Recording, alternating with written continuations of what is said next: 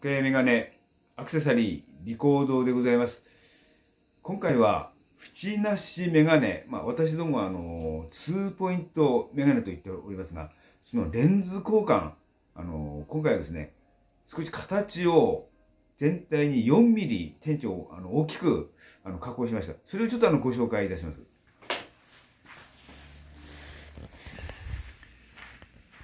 もともとはこういうカラーレンズ入ってたんですが、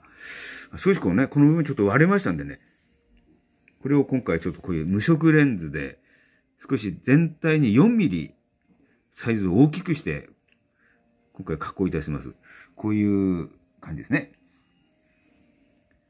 こういうあの、形を少し大きくするとか、そういう対応、あの、できますのでですね、どうかあの、そういう場合ご相談いただければと思いますので、どうかよろしくお願い申し上げます。